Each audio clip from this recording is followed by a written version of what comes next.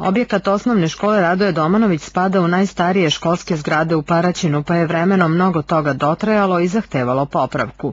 A upravo se krajem prošle godine završio jedan od ciklusa većih ulaganja u ovaj objekat.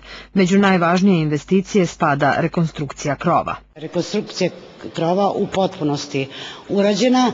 Investicija je oko 2 miliona i 147 hiljada. Čini mi se ako pogrešim neka me ne zamere tako da je to urađeno, sanirano. Direktorka škole kaže da je ostalo da se dovrši jedan manji deo krovne konstrukcije u prednjem delu zgrade. Iznad e, kancelarija uprave i svečane sale.